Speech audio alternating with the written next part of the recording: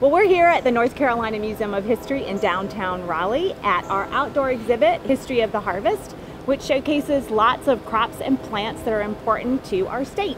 And today we have with us the Commissioner of Agriculture, Mr. Steve Troxler. We've called in the experts to help us learn a little bit more about tobacco. so welcome.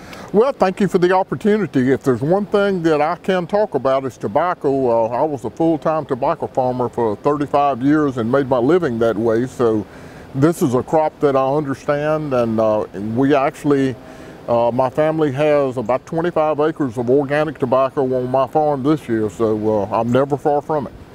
Well, this is, uh, as I said, we called out the experts. And today we're going to learn a little bit about how to top tobacco. Now we have hundreds of thousands of visitors that come out each year, a lot of whom know about tobacco, but a lot of people who don't. And they're very curious about the flowers, and they're even more curious about why we pull the flowers off. And that's what we're gonna talk about today.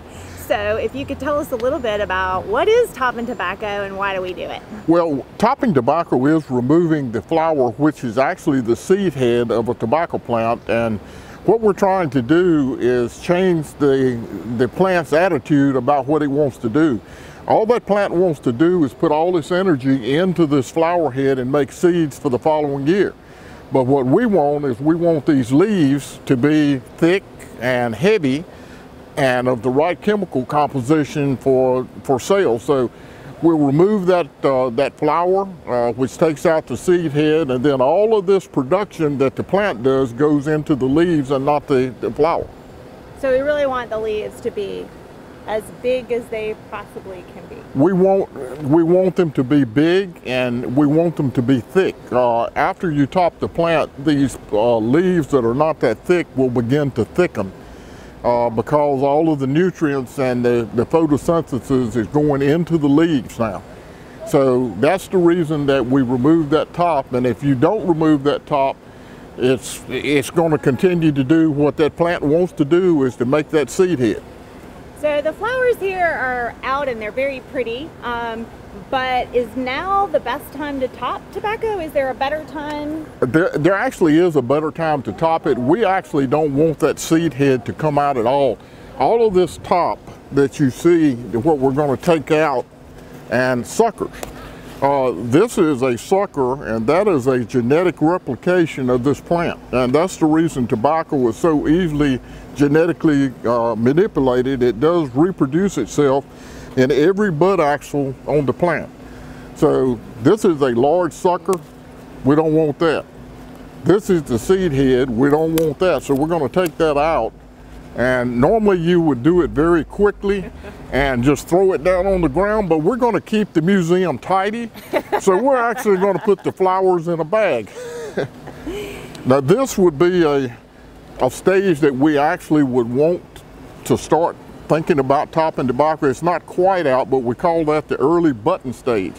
So we're not going to let that plant use any of its uh, production to go into a seed head. We're going to take it out just like that. And if you notice, right now there are no suckers in the plant. The, the, once you take the, the seed head out the first time, the thing then that you don't want is for these suckers to grow as big as that plant. You see how big the, the suckers are beginning to get? That's taking a tremendous amount of energy out of the plant. Now we use a chemical sucker control that first we start with a fatty alcohol that is sprayed on this plant and it runs down to each bud axil and actually burns these little suckers out. When they're small, they're very easy to burn out. And in organic production, we continue to use an organic material over and over again and continually burn these suckers out. Okay. In traditional production, we use a, a systemic uh, suckercide. Uh, it's called uh, MH30. And the plant absorbs it, and that stops the, the cell division in these little suckers.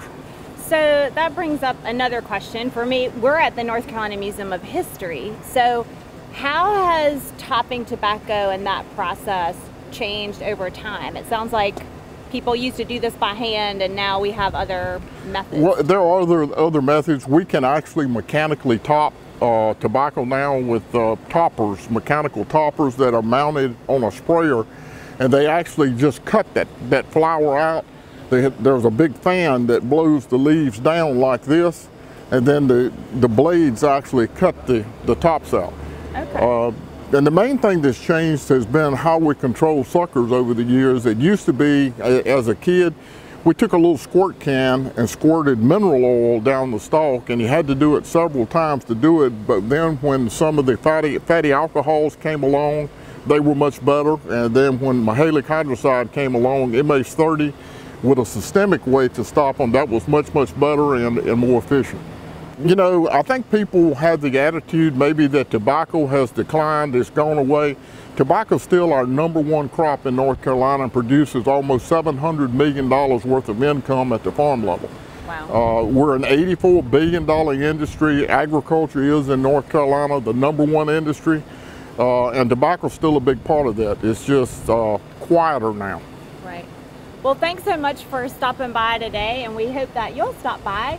Come down to the North Carolina Museum of History, check out this plant and all of our other plants in the History of the Harvest exhibit sponsored by Farm Bureau. Thanks again for coming by. Thank you. That good?